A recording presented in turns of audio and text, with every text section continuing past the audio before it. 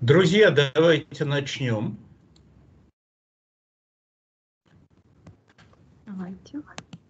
Добрый вечер.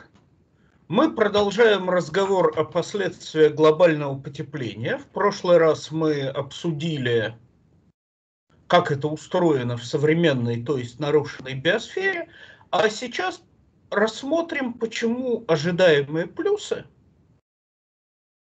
которые, если следует логике, должны быть весьма значительны, вряд ли оправдаются, по крайней мере, в современной хозяйственной системе.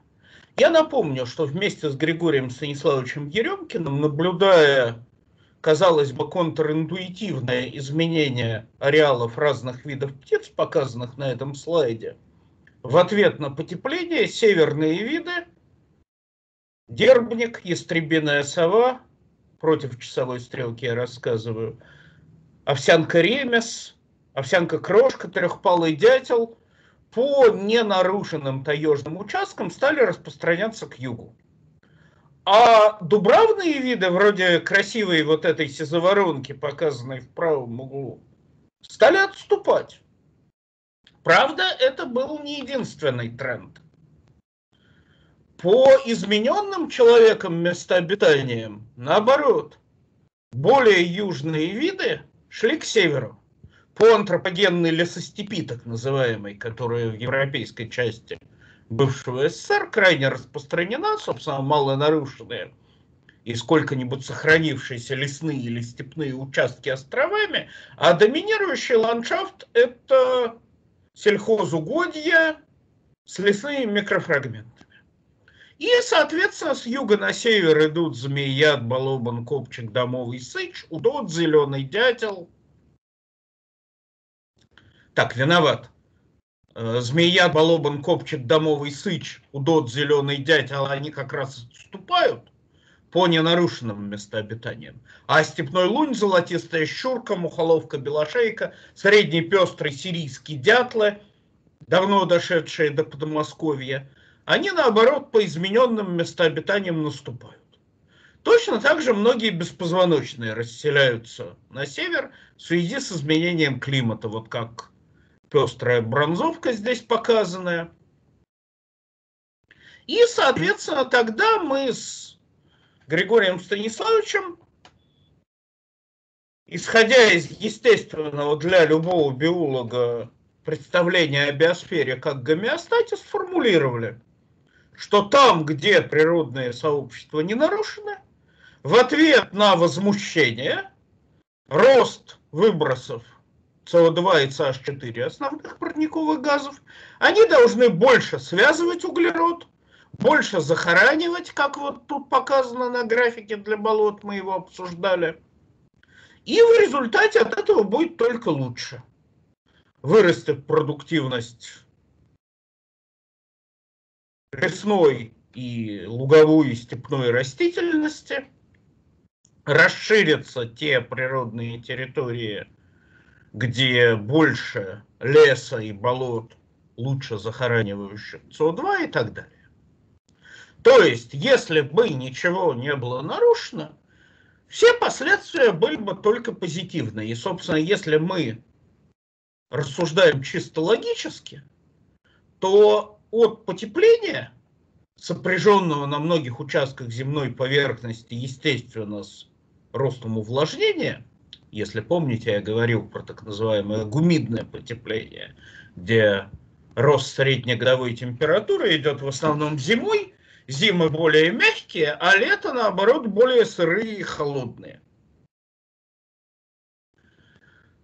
Плюс, естественно, при потеплении интенсифицируется испарения по всей территории земного шара и э,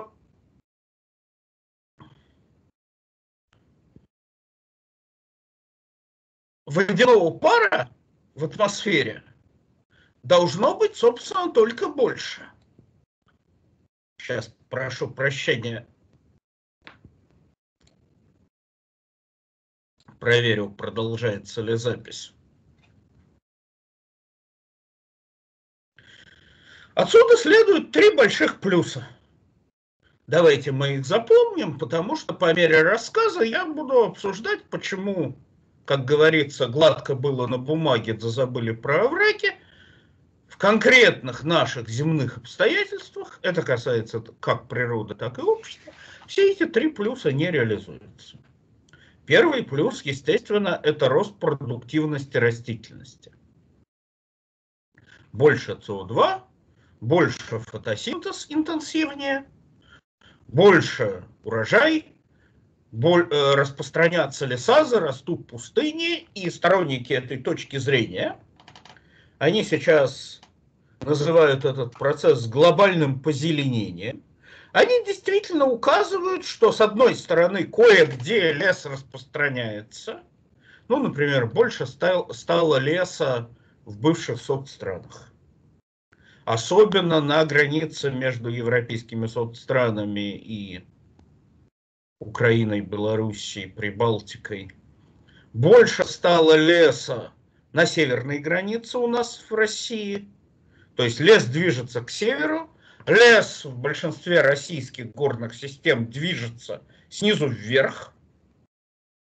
И на первый взгляд это уверенное доказательство глобального позеленения.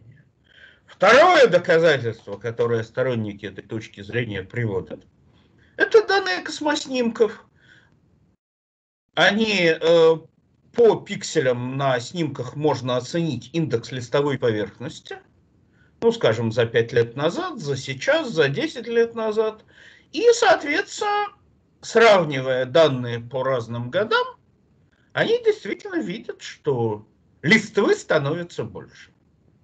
Означает ли это, что стало больше растительности? Тут есть сомнения, надо проверять, и мы обсудим результаты этой проверки. Это первый плюс. Второй плюс, ожидаемый, это спасение жизни людей.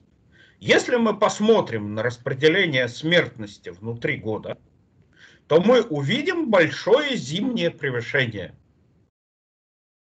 В каждый из годов зимой умирает больше людей в разных возрастах, особенно в пожилых. Если вы, э, если кто-то слышал то, что я рассказывал о демографии, то основной фактор смертности в современных странах, завершивших демографический переход, это болезни пожилых, сердечно-сосудистые заболевания, онкология, повышенный вес, диабет, гипертония, вот все вот это. И зимой люди от этого умирают сильно больше.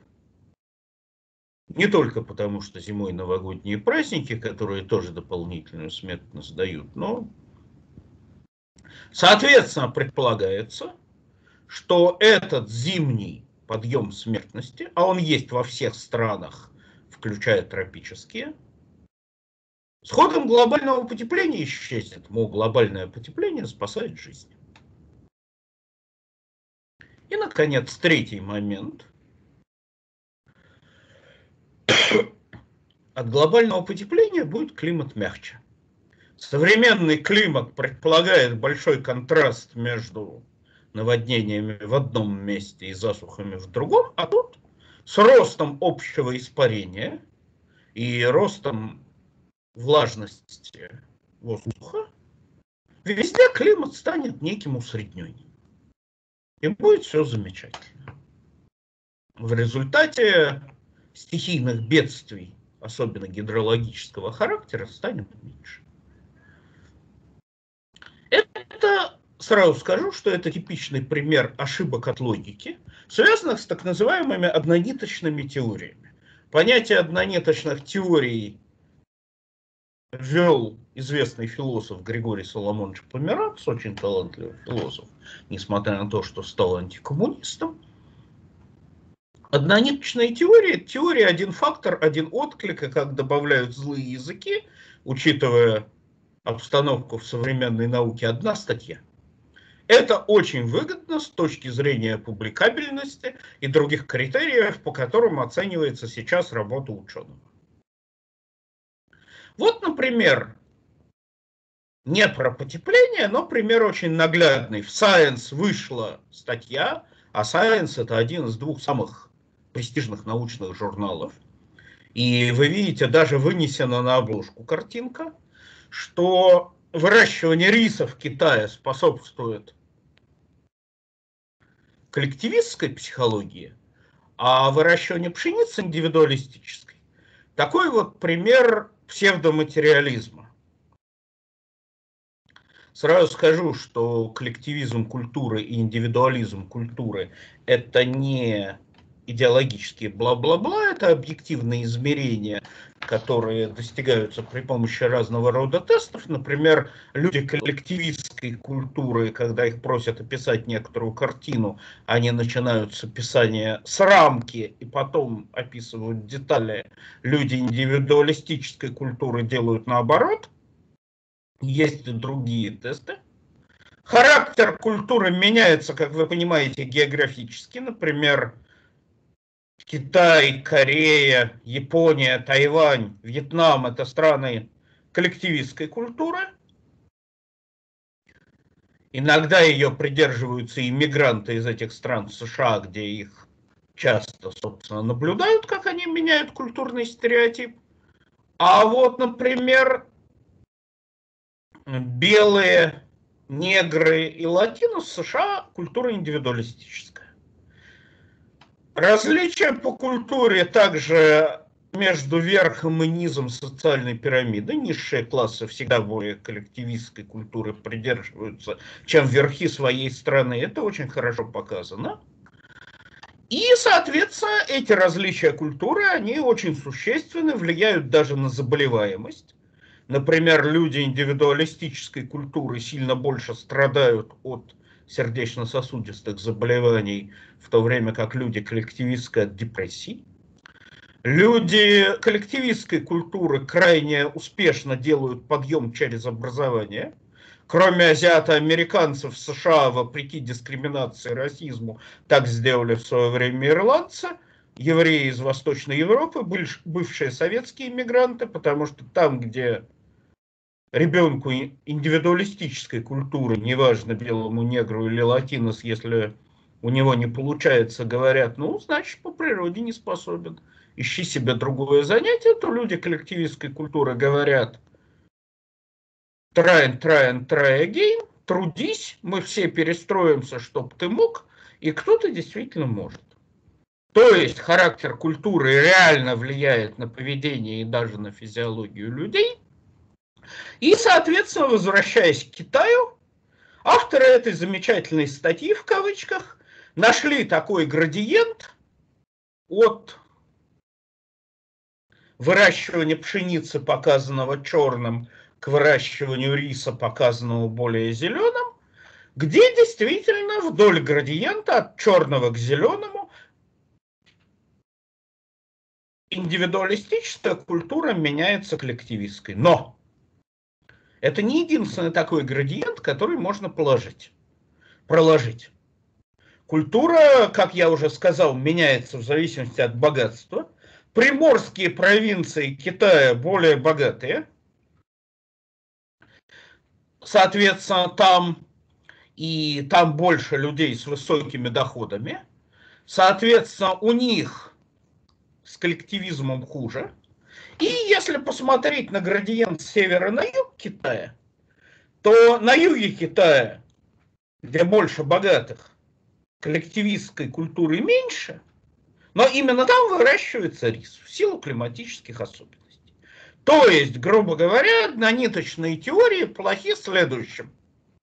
Они смотрят лишь на определенные факты, удобные для них, а не на все относящиеся к делу, поэтому их авторы склонны собирать подтверждения под теорию вместо того, чтобы искать опровержений, как следует по критерию фальсификации Поппера. Они ориентируются лишь на методы, дающие благоприятные данные для их теории, вместо анализа результатов разных методов, проверяющих друг друга – чтобы вывод давал наилучшее объяснение для разного рода данных, а не одного самого удобного. Собственно, научное знание – это такое, которое дает максимально экономное объяснение наиболее гетерогенному собранию фактов. Собственно, именно поэтому в свое время механика Коперника э, пересилила механику Птолемея, хотя расчеты конкретных небесных траекторий давала вначале хуже. Но она давала более общее объяснение на одном основании более разнородной группы фактов. И, наконец, однониточные теории игнорируют вторичные отклики на действие фактора, способные поменять знак воздействия на противоположный. В нашем случае, когда мы анализируем, как изменится продуктивность экосистем от лесов до пустыни влажных тропических лесов с ростом концентрации СО2, игнорируются антропогенные нарушения. Ну, например, в последние советские годы в национальных республиках Юга России, вроде Калмыкии, хозяйства увеличивали количество скота настолько, что был превышен предел пастбищной нагрузки, началась дегрессия, разрушение растительности, и в результате черные земли Калмыкии стали пустыней с песчаными дюнами и так далее. После коллапса сельского хозяйства в 90-е годы там восстановились сухие степи, травянистые, все хорошо. А вот сейчас вы видите, на территории северо-западного Прикаспия вновь появляются острова опустынивания – Интенсивность опустынивания возрастает с увеличением отрицательного коэффициента корреляции между альбедо и температурой поверхности. Альбедо – это отражательная способность. Соответственно, чем сильнее корреляция между альбедо и температурой, тем менее развита растительность. Растительность меняет эту связь. Тем сильнее она стравлена. И, соответственно, вот тут видно три биосферные заповедника «Черные земли», где растительность восстановилась, но зато появились новые пятна стравливаний. Именно в результате того, что сельское хозяйство восстанавливается, и оно дает местную нагрузку. И эта местная нагрузка способна пересилить глобальный тренд – прошлый раз я вам рассказывал о том, что в Заволжье в близких условиях луговые степи, более богатые растительностью, наступают на сухие. И, соответственно, нам, э, если мы говорим, будет ли позеленение или наоборот будет дальнейшее разрушение растительных сообществ, нам надо учитывать не только глобальное потепление – но глобальное потепление на всей планете, А плюс Б местные нарушения. Плюс В, третий фактор, это способность растительности к саморегуляции, особенно лесной. Луговая или степная здесь менее способна, собственно, чем проще э, растительный покров, чем меньше в нем ярусов тем менее он способен к саморегуляции, но вот лес максимально способен работать как гомеостат, то есть не только биосфера глобальный гомеостат, но и каждый отдельный лес в той мере, в какой он не нарушен, это локальный гомеостат. И, соответственно, несмотря на то, что климат вокруг меняется, вот справа видна зависимость, зависимость между макроклиматом то есть изменение температуры по декадам, и микроклиматом температуры внутри лесного массива. Вы видите, что разброс очень велик. И этот разброс описывается очень простой закономерностью. Чем больше нарушений под пологом массива, тем сильнее микроклимат сдвинут в сторону макроклимата снаружи. Пока массив целостен и крупен, он остается устойчивым, даже если климат на Земле в целом меняется. Собственно, именно в этом гомеостатическая роль крупных массивов малонарушенных лесов и болот, о которых я так много вам твердил в прошлый раз. И, соответственно, понятно, что чем интенсивнее нарушения, причем неважно какого характера, это могут быть пятна пожарищ, это могут быть кострища от туристов, это могут быть пятна вытаптывания от туристов, это могут быть погибшие деревья от э, размножения гусениц, едящих листву, или краедов, убивающих ствол. Как только распространяются нарушения, лес начинает сохнуть, теряет способность регулировать свой микроклимат, а это значит, скорее всего, исходя из нашей Еремкиным гипотезы, данная лесная территория из стока углерода, то есть из места, где дополнительный СО2, выброшенный в воздух, будет усваиваться и захораниваться, превращается, наоборот, в источник. Это же верно для нарушения влажностного режима. Если мы попробуем осушить болото, ну, скажем, чтобы превратить его в сельхозугодье, или если у нас, например, заболачивается лес, скажем, при дорожном строительстве, э, при неграмотно созданной вот этой вот насыпи дорожной одежды, очень часто значительные участки леса заболачиваются, и всякое нарушение, всякое отклонение места обитания от типичного состояния. Для леса это заболачивание, для болота осушение, для того и другого это фрагментация. Ведет к тому, что способность связывать углерод исчезает, и наоборот запасенный там углерод начинает лететь в воздух, дополнительно разогревая бороду Господа Богу. И вот статья как раз это и показывает. Чем выше степень интегрированности лесных ландшафтов, тем выше способность связывать углерод, более зеленые оттенки. Там, где леса дезинтегрированы, где они фрагментированы, где на них интенсивно наступают рубящие их, скажем, владельцы латифундии, как в Бразилии, там, где эти леса фрагментируются урбанизацией, дорожным строительством, как на востоке США, более коричневые участки. При низкой интегрированности лес из места, где дополнительный выброшенный в атмосферу углерод запасается, становится, наоборот, местом этого выброса. Тоже касается и пожаров. Вот, например, график такой вот многоцветный. Это ненарушенная канадская тайга. После того, как ее поели хвоегрызущие насекомые, стволоубивающие насекомые или прошли пожары, она из стока углерода, вы видите, выше, там, где написано стинг, выше нулевого уровня, она превращается в источник. Фонит и СО2, и CH4. И это же относится к э, лесам всей планеты. Вот справа в кругу вы можете для разных стран посмотреть, насколько сохранились леса высокой степени интегрированности, малонарушенные, которые вместе с находящимися там болотами могут работать на стабилизацию климата. Э, Россия в этом плане сохранила, пожалуй, больше всего таких лесов. Важно, важна также зависимость от возраста лесонасаждения, она показана в центре.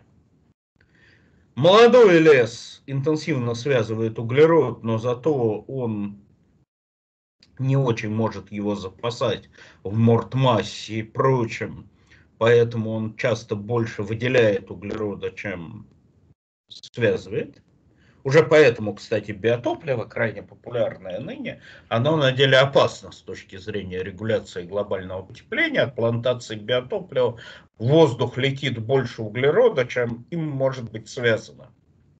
И по мере того, как он становится зрелым, старым, экологи говорят, что он приближается к климаксу, то есть к тому типу сообщества, которое в данных условиях может существовать неограниченно долго, если только его не нарушать.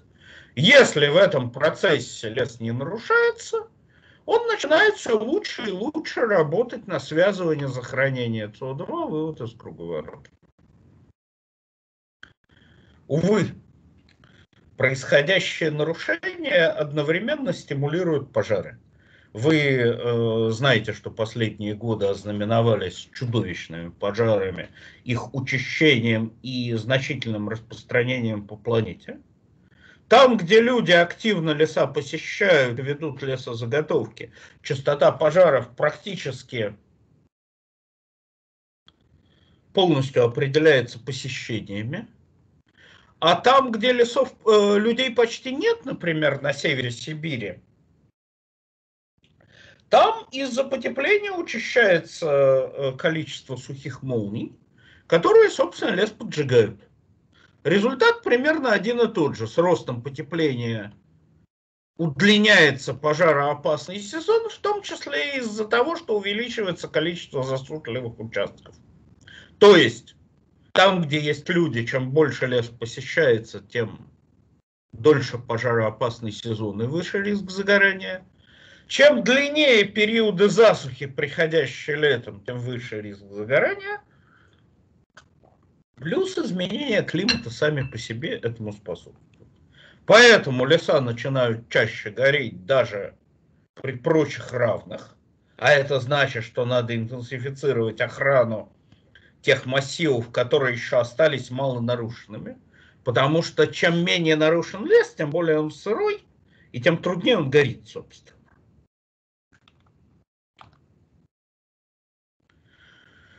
Другой момент важный – это фрагментация фрагментирован, если э, крупный массив, он теряет меньше углерода, чем такой же по площади, но раздробленный на n кусков. Различие, ну, примерно в степени n. Соответственно, как, э, меня, э, как будет меняться ситуация? Есть три варианта. Первый, э, первый сценарий оптимистический, глобальное позеленение. Дополнительный выброшенный углекислый газ будет усвоен, способствуя экспансии биомов с большей фитомассой, большей долей болот в структуре ландшафта и сжатие биома с меньшей. Плюс урожайность сельхозкультур вырастет. Потепление преодолевается или оказывается положительным фактором. Кривые справа – это как раз возможные сценарии. Вот повышающийся уровень биомассы – это вот как раз позитивный сценарий.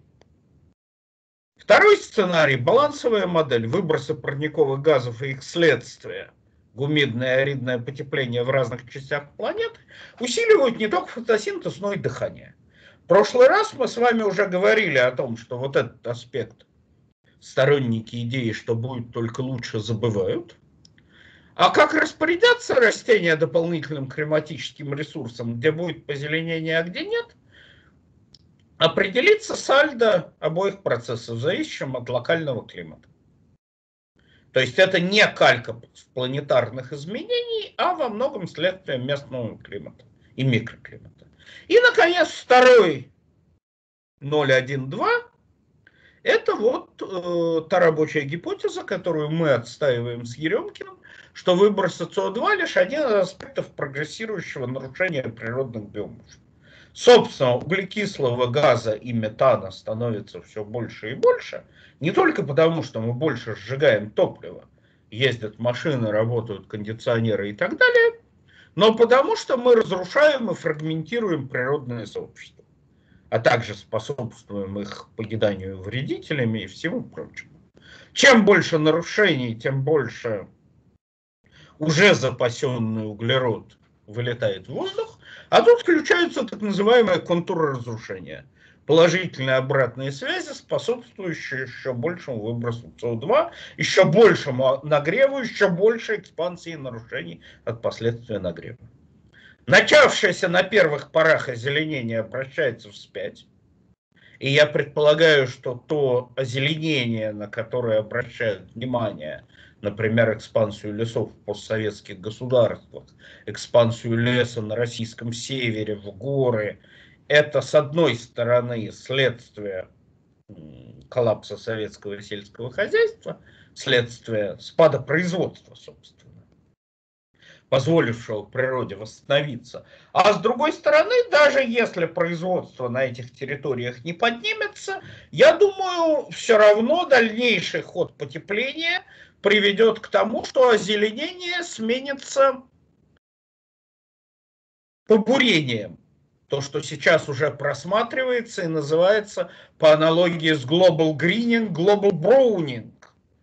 Те участки, где вроде бы зелени прибавлялось, через э, зелени прибавлялось 2010 и 2000 20-е годы, через некоторое время они будут, там зелень будет уменьшаться. Почему так получается? Потому что сообщества быстрее будут проедать углерод, запасаемый в почве и мортмассе, чем добавлять новый фотосинтезом и связыванием. Это именно потому, что в отличие от плеоцена, в отличие от палеонтологического прошлого, нынешние выбросы СО2 лишь один из аспектов разрушения природных биомов. Тогда потепление усиливает общий экологический кризис, создает разные хозяйственные трудности или усугубляет имеющиеся. То есть заставляет все больше и больше вкладываться в восстановление нормальной среды обитания, отвлекая ресурсы от каких-то других возможностей. И действительно мы видим, что вот э, дан, э, данные из Nature, глобальная карта изменений потоков углерода в 21 веке, все большее количество лесов из стока углерода превращается в источник. Теперь давайте отвлечемся и рассмотрим данные по глобальному озеленению. Вот статья 2016 года, знаковая для этого направления. Она показывает, что на одних и тех же территориях индекс, средний индекс листовой поверхности, average leaf area, увеличивается, что и отражается в позеленении. Тут сразу возникают вопросы. Посмотрите, какой ярко-зеленый восток Китая. Восток Китая это, вообще говоря, сплошной город, каменные джунгли, интенсивнейшим образом расползающийся по территории. Я в доп. материалах к нашему раз, э, разговору кину ссылку на это. Какое там, я извиняюсь, развитие растительности. Значит, с этим индексом что-то не так. Наверное. Второй момент. В этой статье честно говорится о том, что успехи Китая и Индии в озеленении, позеленении – это даже вынесено в заголовок статьи, вообще говоря, созданы рефорестацией, искусственным лесовосстановлением, которое сейчас именно в целях противодействия климатическим изменениям распространяется во всех странах, включая самые отсталые страны Африки. И я собираюсь в ближайшее время написать про подвиг Якуба Савадогу, жителя Буркина-Фасо, который при помощи поддержки великого Томаса Санкары создал новый способ лесовосстановления. Он использовал местную технологию посадок в лунки, сельхозкультур, так называемые ЗАИ. Он ее усовершенствовал и э, стал мозаично размещать между посевами сельхозкультур участки лесные. И благодаря поддержке Санкары это новшество распространилось на так называемых рынках, рынках инноваций, которые по всей Западной Африке вот это замечательное изобретение разнесли. Санкару, к сожалению, быстро убили, Савадогу, по счастью, нет, он смог продолжить работу. И современные работы по Буркина-Фасо, данные космоснимкам, показывают, что растительность прогрессирует именно там, где люди вкладываются в эту самую рефорестацию. Это же в Эфиопии, это же в Монголии. То есть речь идет не только о Китае Индии, странах достаточно богатых, но это сейчас мировой тренд. Другой важный момент. Выводы, делаемые только по одному показателю, они уязвимы. Это как со свидетелем в суде каждый свидетель что-то перевирает, что-то искажает, и поэтому важен их перекрестный допрос. Аналогом перекрестного допроса в нашем случае будет сравнение того, что мы видим на пикселях космоснимков с наземными геоботаническими исследованиями. Вот как раз для территории Западной Африки, Сахеля, космоснимок в центре показывает позеленение – точки места наземных геоботанических исследований, черные точки, произведенные на той же территории, которая была снята. Слева вы видите изменение температур, э, изменение осадков. И НДВИ – это развитие растительности, определяемое по тем же космоснимкам. В 2000-е годы очень много говорили про позеленение Сахеля, и вы видите, что действительно и осадков было больше, и растительность развилась, однако 2010-е годы снова пришла засуха и страшный голод. И вот неожиданно оказывается, что те территории, которые на космоснимках выглядят зелеными, они при наземном обследовании могут показывать, наоборот, деградацию растительности. То есть, особенно если речь идет о древесной кустарниковой растительности, не от травянистой которая медленнее развивается и медленнее меняется. Соответственно, темные, темные столбцы на графике снизу декриза – это сокращение растительности. И видно, что на одних и тех же территориях, помеченных на космоснимках как позеленевшие. Растительность может и прибавляться, и убавляться по данным наземных исследований, и наоборот. Вот итоговая картиночка. Реальный прирост растительности происходит как на тех пикселях космоснимка, которые определены как грининг, и на тех, которые определены как not грининг, тоже верно и наоборот. Иными словами, от трети до двух третей площади космоснимок оценивает неверно и должен быть скорректирован.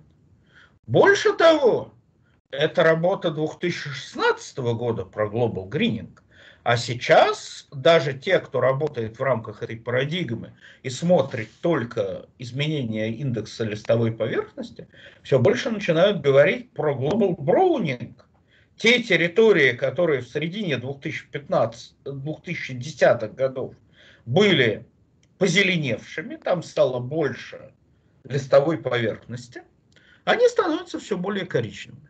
Одна из причин этого рост нарушений, наиболее важная, а другая частная, потому что индекс листовой поверхности, он очень неустойчив. Представьте себе, например, на вырубке или гаре бурно разрастется иван-чай, или еще какая такая вот бурьянная растительность, и сразу будет много сильное позеленение. То же касается при очень незначительном, но высоком в относительном выражении прибавления зеленых ареалов вокруг городов. Так, например, появляются позеленевшие участки восточно-китайских агломераций. Или увеличение интенсивности сельхоз сельского хозяйства, когда на одной и той же территории за счет большего количества удобрений, лучшей агротехники и так далее выращивается большая фитомасса культурных растений, все это, понятное дело, не имеет отношения к реально происходящим процессам. Хотя является интересным таким первым шагом, с которого надо начинать. Поэтому реально Сахара, она расползается, хотя и клочно.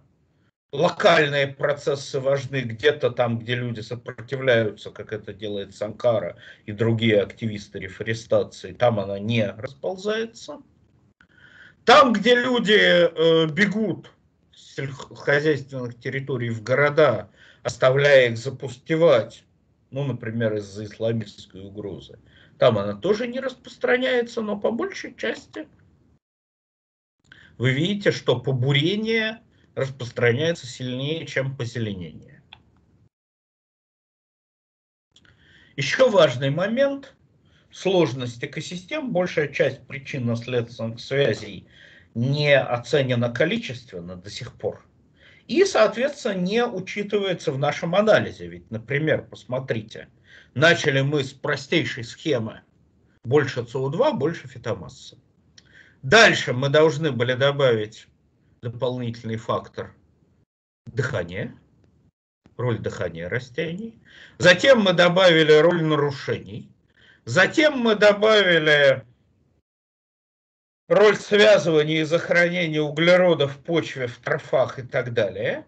Но, например, как повышение активности микробного метаболизма при протаивании в мерзлых почвах, почв скажется на баланс между стоком и источником углерода, или как потепление вызывает усиление роста корней при росте температур с выделением в почву органических веществ, дальше идет рост числа питающихся ими бактерий, усиление разложения органики, что раньше была стабильной, большая эмиссия углерода в воздух и так далее. Причем, к сожалению, большая часть этих неучтенных причинно-следственных связей работает на негатив, на увеличение выброса углерода в воздух, э, в то время как на связывание, ну, все меньше и меньшее количество. И действительно, в 2009 году появляются данные, что с ростом концентрации СО2 экосистемы быстрее съедают накопленный углерод, чем связывают новый.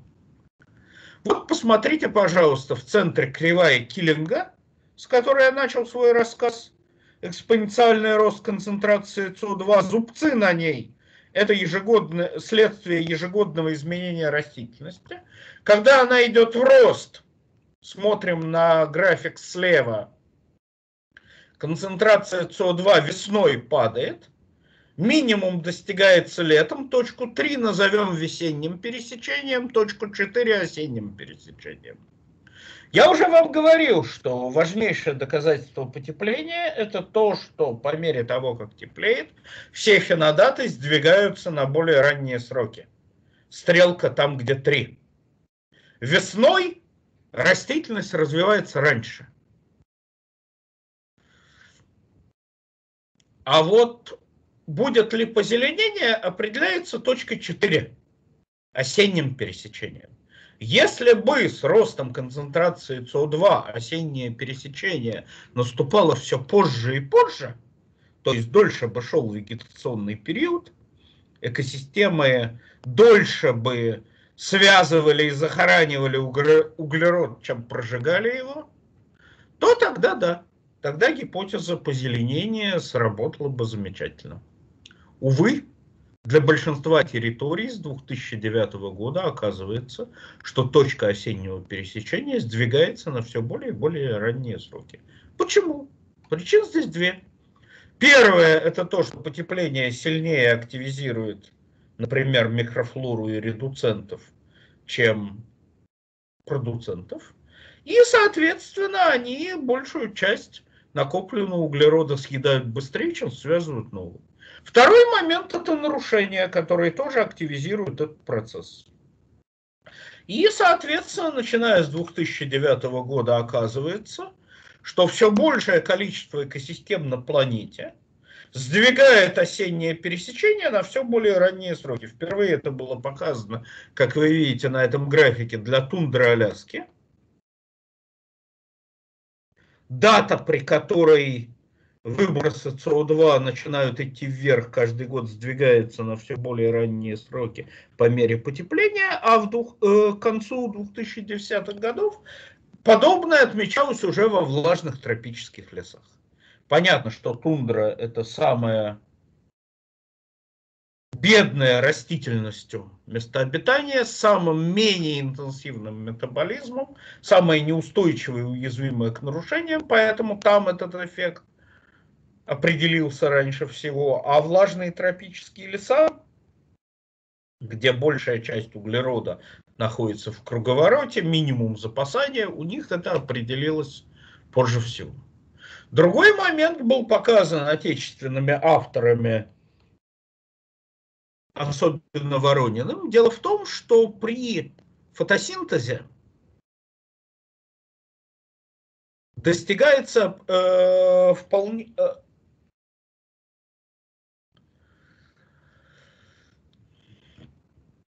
Соотношение фотосинтеза и дыхания определяет изотопный состав ну, той древесины, которая откладывается в годичных кольцах.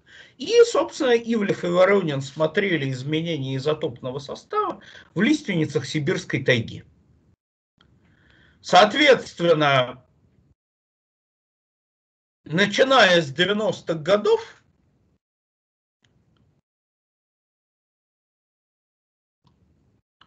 отлагающиеся годичные кольца обогащались в основном легким изотопом С12, а начиная с 90-х э, откладывающиеся годичные кольца древесины обогащались изотопом 13. Что говорит о том, что дыхание превозмогло фотосинтез. То есть э, до 90-х годов в сибирской тайге под Иркутском, где они брали свои данные, в ответ на рост концентрации СО2 усиливался фотосинтез и усиливалось связывание его.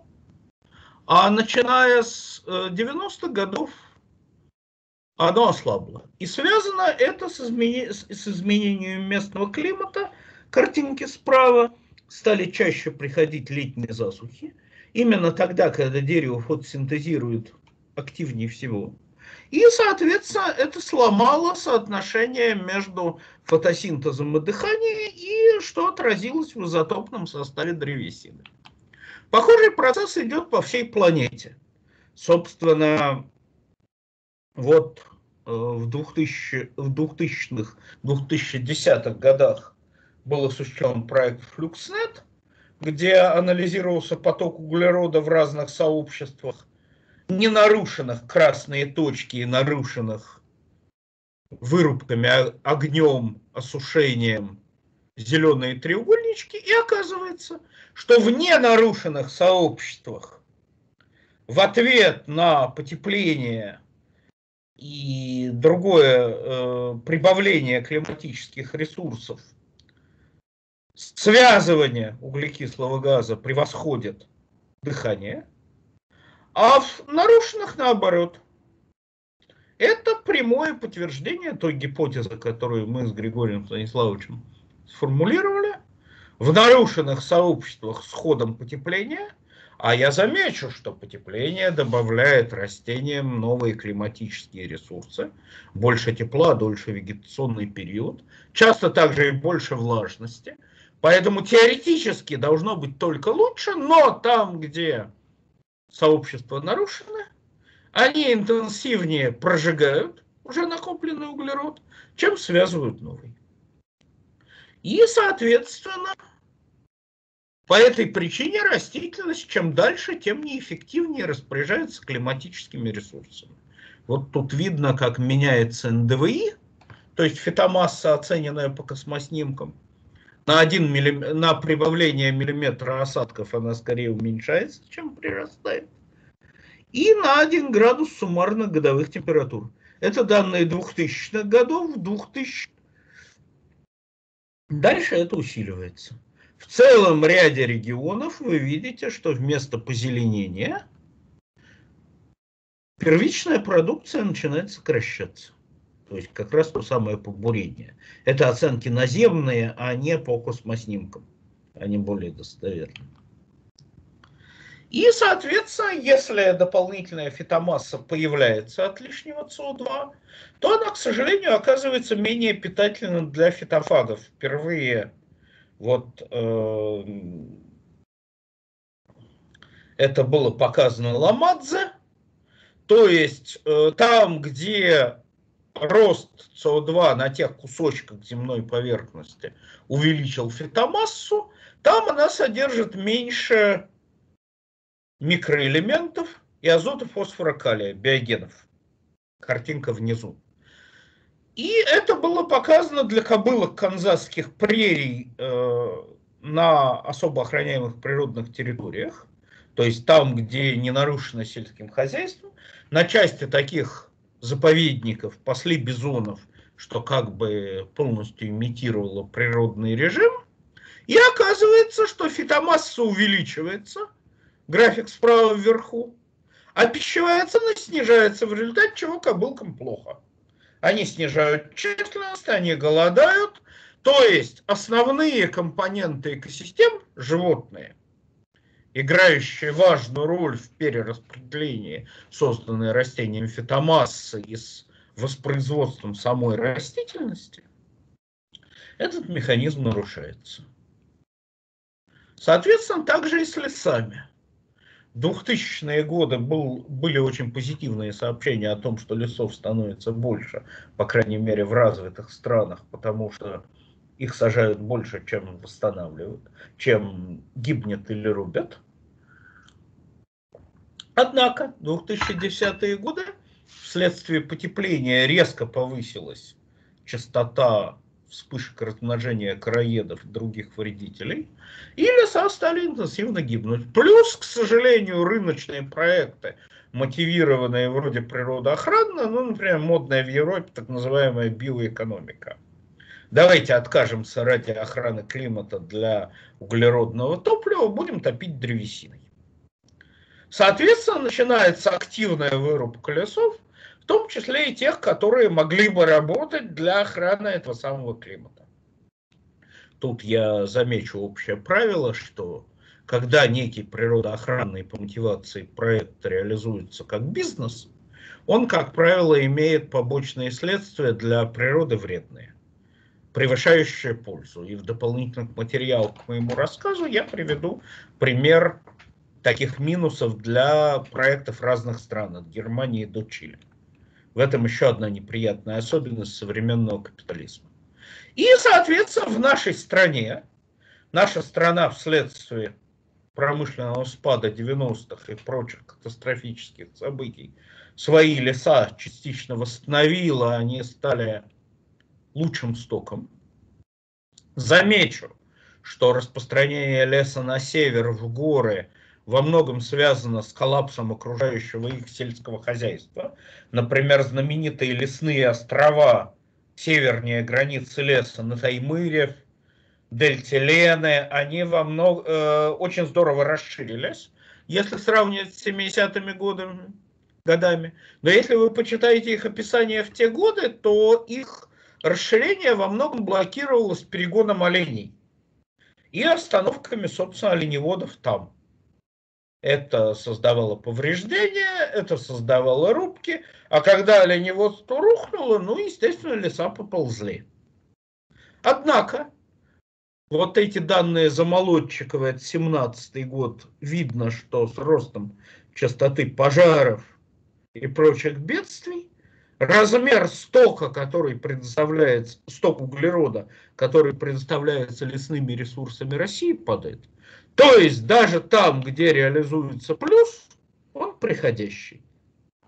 Плюс потепление снижает продолжительность жизни деревьев практически по всей территории, где это обследовалось, особенно в тропиках, что еще больше нарушает работу вот этой вот вновь созданной древесины в экономике природы.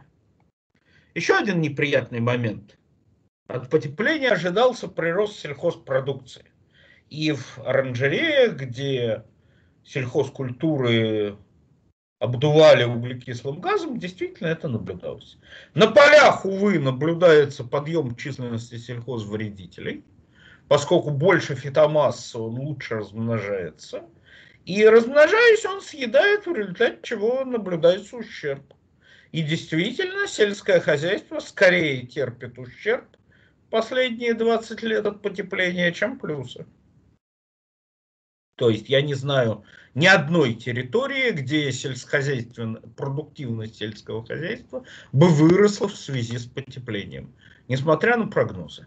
Частично это связано с тем, что во всех регионах, а особенно в высокоурбанизированных, вроде наших Палестин, Европы и Северной Америки, снижается численность обычных видов птиц, это данные по США. Видно, что там, где местность не очень урбанизирована, птиц становится даже несколько больше, а там, где урбанизировано, их становится меньше. И это значительное сокращение, а птицы, как вы понимаете, это природные регуляторы тех самых насекомых, которые едят наши урожаи и едят леса. Увы, Это общая картина следствий потепления не только на суше, но и на море. Численность массовых видов животных, важных для возвращения биогенов питательных веществ в почву, играющих ключевую роль в экономике природы, падает. Например, одно из следствий потепления неприятных, которые я не буду разбирать подробно, это то, что увеличивается частота заморных явлений, так называемых красных приливов, размножения водорослей, губящих все живое, поскольку они ядовитые для морских животных и для людей. Отчасти это связано с потеплением, отчасти с местными факторами, загрязнением биогенами, как всегда в природе. Глобальный фактор плюс локальный. И это вызывает массовую гибель птиц на морских базарах, например, кайр. А птицы нужны для того, чтобы э, питательные вещества из съеденной рыбы вместе с пометом возвращать в море, и экономика природы крутилась дальше. И, соответственно, продуктивность наземных экосистем, поэтому во многих местах падала даже в 80-е 2000-е годы, когда общая фитомасса и усвоение углерода росли. Графики справа. А сейчас уже побурение превосходит позеленение. И вот тут, собственно, данные из статьи в Science показывают нашу, э, подтверждают нашу первоначальную гипотезу, что отклик фотосинтеза с ходом потепления будет все больше и больше ослабляться – по мере того, как оно будет э, пересиливаться дыханием, а продуктивность биосферы будет снижаться. И действительно, опыт на болоте долговременный, малонарушенные болота в Соединенных Штатах, не подвергавшие э, их нагревая, и, соответственно, видно, что просто нагревание болота без нарушений вело к увеличению углерода и его эмиссии. Там, где микроклимат не менялся, там болото продолжало оставаться стоком углерода. Иными словами, происходящее потепление на всем земном шаре снижает способность оставшихся экосистем этому потеплению противостоять. Иными словами, глобальное позеленение вряд ли возможно – Скорее всего, оно будет возможно при другом общественном устройстве, когда в рамках плановой экономики будет восстановлен поляризованный ландшафт, ну, такой, какой был вокруг советских городов с зелеными кольцами, вокруг городов с зелеными клиньями, так, чтобы расползание городов эту связность природных сообществ вокруг не рушило. Теперь смертность. Если мы посмотрим зависимость смертности от температуры, то мы увидим U-образную кривую. В каждой стране, сверху Финляндия, в центре Лондон, внизу Афины, она соответствует некому интервалу плюс-минус 3 градуса вокруг средней летней температуры. Соответственно, есть некий оптимум, соответствующий средней летней температуре, а выход за него как в сторону жары, так и в сторону холода ведет к увеличению смертности. В этой связи, казалось бы, действительно увеличение температуры спасает жизни, потому что вы видите, что синий хвост, он кажется более, обшир, более обширным, чем красный, хотя не везде. Увы, зимняя смертность она наступает не прямо от холода, она посредуется социальной системой. Например, в депрессивных регионах нашей страны, где благодаря советскому наследию есть центральное отопление, зимний подъем смертности в разы меньше, чем в Великобритании или в Португалии, где отопление целиком частное. То есть чем выше доля бедного населения, лишен, вынужденного экономить на обогреве, вынужденного работать на холоде, вынужденного плохо питаться зимой, тем выше зимний подъем смертности. То есть зимний подъем смертности, он холодом лишь провоцируется, А реально он реализуется через социальные факторы, которые определяют смертность от сердечно-сосудистых заболеваний, от последствий гриппа, ОРВИ и так далее, и, соответственно, через социальную структуру и медицинскую. В то время как подъем жары, он вредит здоровью напрямую. От жары, от холода можно спрятаться, утеплившись, одевшись, изменив поведение, от жары не спрячешься, кожу ты с себя не сбросишь. И, соответственно, волны жары резко повышают смертность, например, в Москве. И, соответственно, относительный прирост смертности от всех естественных причин в Москве, вы видите, что от жары он сильно более крутой. Именно потому, что прирост от волн холода, он отчасти компенсируется социальными факторами и другими изменениями. А от жары нет. И, соответственно, на всем земном шаре температурных экстремумов и других стихийных бедствий становится больше. Я вам положу в материалы, э, в дополнительные материалы работу одной моей студентки по северным городам. Она показывает, что в северных городах России э, волны холода становятся не сильно меньше в последние 30-40 лет, а вот волн жары сильно больше. В результате вредное физиологическое воздействие начинают оказывать и те, и другие. Поэтому идея, что глобальное потепление спасает жизни, увы, неверна. Именно потому, что убивал не холод, а убивало несовершенное общество с высоким уровнем социального неравенства и высоким доступом к и низким доступом бедных к разным благам. Замечу, что важной частью угнетения бедных при современном капитализме является так называемое климатическое неравенство. Я вам в доп. материалы положу соответствующие ссылки.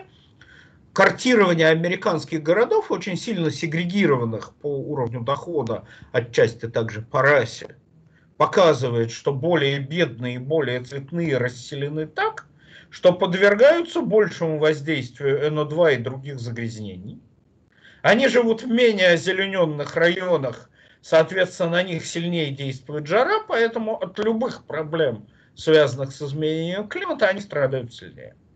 И вот карта стихийных бедствий, которые испытали США 2021 год был экстремальным в этом плане и, вероятно, дальше будет еще хуже. Это же касается, впрочем, любой другой страны мира. По России, к сожалению, хороших данных нет, есть только частичные.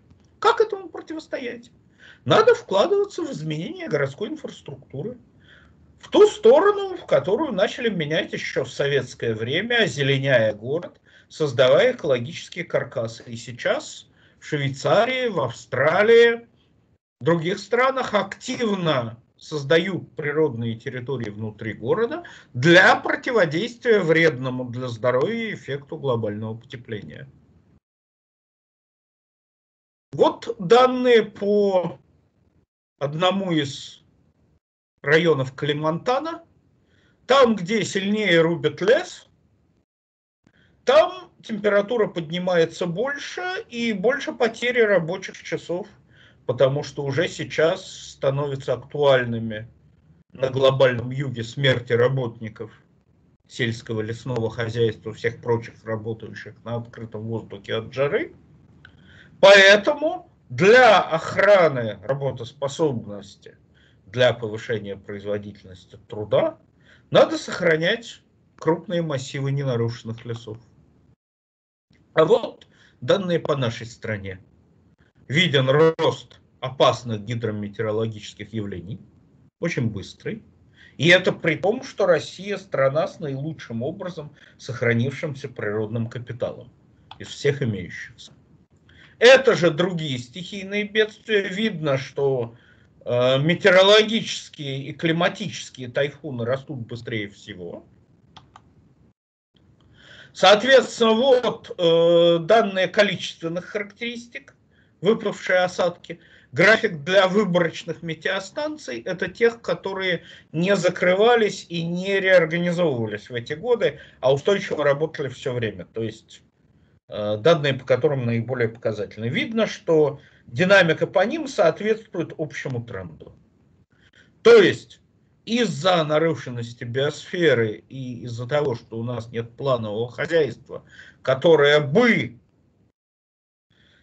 в одной части страны противостояло наводнениям, а в другой части засухам, а в каждой, страны. Э, в каждой части страны хозяйствующие субъекты за свой кошт и независимо друг от друга противостоят то наводнениям, то засухам. Понятно, что это менее эффективно. Поскольку у нас нет планового хозяйства, количество экстремальных явлений растет. И вот, собственно, схема, показывающая наше знание об этом. То есть, чем э, правее по оси X, тем лучше мы понимаем воздействие климата на данные погодные аномалии. Соответственно, 8 и 9 это экстремальная жара, экстремальный холод. 6 ливней, 7 засухи. А Ось Y – это э, доверие к э, тому, что учащение этих аномалий действительно связано с изменением климата. Тут видно, что и доверие, и понимание весьма высокие, и в нынешней социально-экономической ситуации, ну, в отдельных регионах придется готовиться к местным проблемам, хотя эффективнее и разумнее было бы на значительной территории – планово готовится к, э, противопол... э, к отражению изменений противоположного рода за счет централизованных ресурсов. И, соответственно, вот последняя картинка с цитатой Гоббса.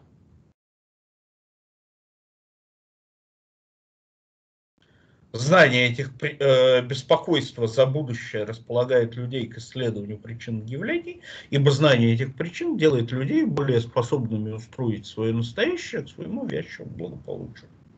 Вот чтобы устроить свое настоящее к вящему благополучию в нынешних условиях глобального потепления, нужно преодоление капитализма. Потому что в нынешней ситуации богатые – рост их потребления, он разрушает больше, чем на налоги с них, и обычные люди, старающиеся сохранить свою среду обитания в обычных местах существования, чем эти люди могут восстановить. То есть глобальный баланс процессов разрушения и восстановления в контексте тех последствий, о которых мы знаем и которые я вот сейчас описала, наверное, есть и неизвестные. Скорее всего, они будут действовать в эту сторону. Они требуют ограничения тех выгод, которые э, получаются корпорациями за счет пренебрежения состояния биосферы и, э, собственно, климатическими изменениями.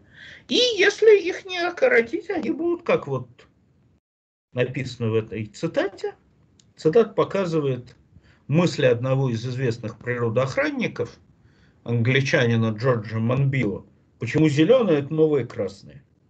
Они будут э, противиться любому пониманию, ограничивающему свободу поступать так, как им выгодно, пусть даже их устремления являются очевидно неприемлемыми. Нет такой необходимости, чтобы все приняли лучшее понимание происходящего. Те, кто добровольно не ограничит то, что они делают, должны просто столкнуться с внешними ограничениями на их поведение, независимо от того, насколько они богаты в данный момент. Иными словами, не только социальный гнет дискриминации, социального неравенства требуют силового ограничения богатых со стороны бедных, потому что сами они не пойдут на это, так и э, разрушительные изменения в биосфере, созданные хозяйству, э, хозяйственной деятельностью богатых, направленной исключительно на максимизацию прибыли, требует силового ограничивания со стороны плебса. То есть люди против бизнеса – это такое очень распространенное везде и всегда противостояние и изменение климата оно тоже касается. Может быть, поэтому в э, Великобритании, например, в школах запрещено использовать любые материалы, которые отрицают капитализм, и не только коммунистические, но и рассказывающие про изменение климата и глобальное вымирание. Ну вот на этом, наверное, все. Спасибо. Вопросы? А, ну, пока здесь э, собираются с вопросами, у меня есть а, вопрос такой. А, вот недавно э, слушала такую информацию и хотела у вас узнать а, про а, роль загрязнения пластиком в нарушении биосферы, если я правильно. Потому что слушала тут краем уха, что, ну, не знаю, мне кажется, это не совсем может быть корректно, то, что я слышала, о том, что вот, мол, а, не стоит беспокоиться о загрязнении пластиком, потому что вот есть уже бактерии, которые его прекрасно разлагают, это все как бы мелочи. Вот. Что вы думаете? В таких, э, здесь всегда важен баланс. Что идет быстрее? Разложение или выбрасывание нового пластика? Увы, выбрасывание нового идет быстрее. То есть пока нам этот баланс не удастся свести, беда. И обратите внимание, вот эти пластиковые острова в океане, мусорные, они растут. И это территории мертвой зоны, это не просто там пластик, но там нет океанических сообществ. Это плохо. Причем э, западные компании, они очень любят говорить о рециклинге. И, собственно, они используют это, э, эти разговоры для рецик... о рециклинге просто для того, не для того, чтобы рециклинг осуществлять, а для того, чтобы больше пластика производить. При этом они излишки сбывают в третий мир. Я дополнительные материалы положу статью на этот счет, где процесс описан. Спасибо, Спасибо.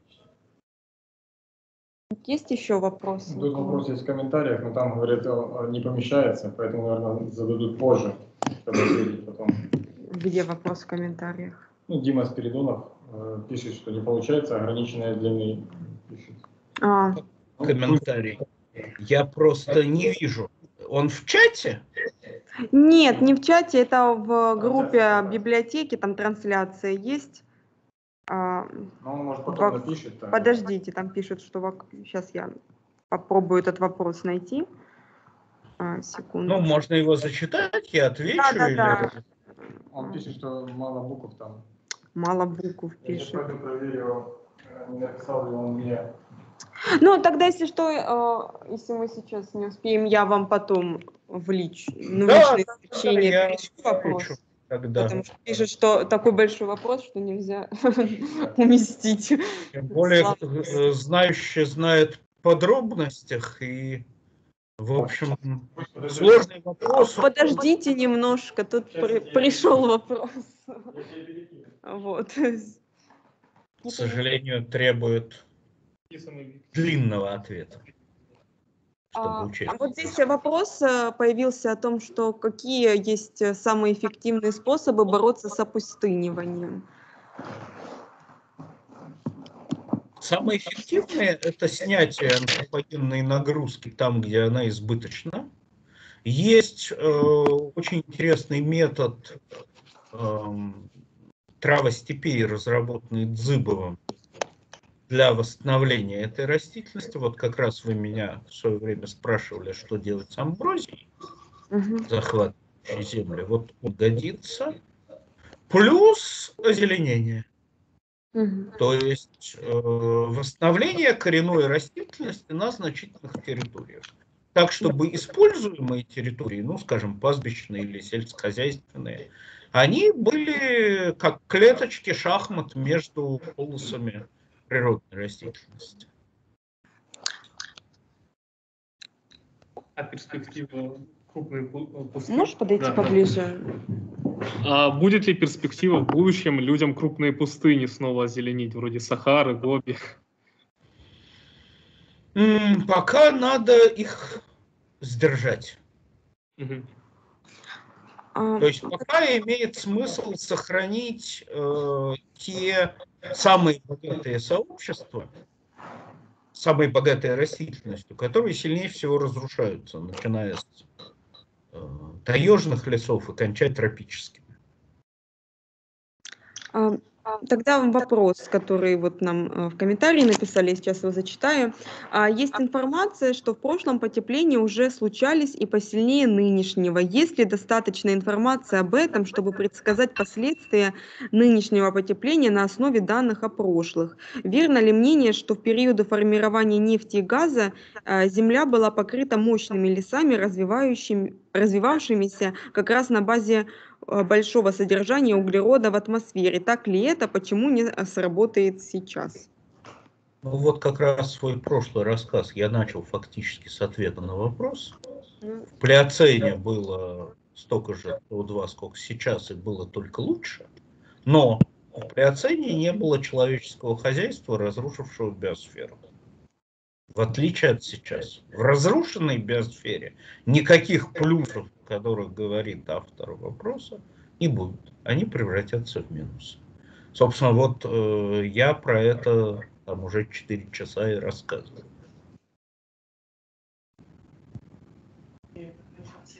А, еще есть вопрос. Получается, если у нас человеческая деятельность и развитие экономики и демографический взлет населения, ну, если брать в общем мировом масштабе, если он как бы находится в прямом противоречии с э, Э, сохранением, э, сохранением лесных массивов, болот и так далее. И то не выйдет ли так в конечном итоге, что какие бы меры по э, противостоянию глобальному потеплению не принимались, человеческая деятельность, все расширяющаяся, и количество людей, и урбанизация все равно как бы э, сделает негативный эффект и не придется ли ограничивать количество населения какими-то методами? Ну, с одной стороны, количество населения э, само стабилизируется, это процесс демографического перехода. И как раз я все предлагал Екатерине, чтобы я вам рассказал про демографию. Как раз, мне кажется, это в контексте экологических проблем было бы интересно. Да, да. Второй момент – это то, что удастся ли согласовать сохранение территори э, природных территорий с урбанизацией и развитием сельского хозяйства. Это полностью зависит от общественного устройства. Вот когда я вам рассказывал про охрану природы в СССР, те, кто слушали, может быть, помнят про идею поляризованного ландшафта Бориса Борисовича Радамана. То есть, когда хозяйство управляемо плановое и города растут звездчато, по железнодорожным путям, удается и промышленный сельскохозяйственный рост, и связанность и сохранность природных массивов. Вот в этом случае, и не случайно, кстати, страны СЭФ составляли 35-40% мировой экономики, а выбрасывали всего 18% загрязнений. И примерно столько же они давали нарушений природной территории. В ГДР, например, э, количество природных ландшафтов, уничтожаемых застройкой и всем прочим, и рекультивируемых, просто ну, баланс удалось свести этого. Единственный раз в истории человечества. То есть, а в условиях капитализма, когда города автозависимые расползаются, как масляное пятно на бумаге, естественно, ничего, никакого баланса не сведешь. В том числе и потому, что, как вы помните из рассказа прошлого раза, один и тот же фактор, глобальное потепление, в одних местностях дает наводнение, в других противоположный эффект засуху. Противостоять надо и тому, и другому на территории всей страны. Нужен единый планирующий орган. Если люди, живущие местными проблемами и местными интересами, ну или хозяйствующие субъекты, будут в одном регионе меняться так, в другом так, то, естественно, значительная часть ресурсов потратится впустую. В этом минус как раз свободной конкуренции и частного предпринимательства.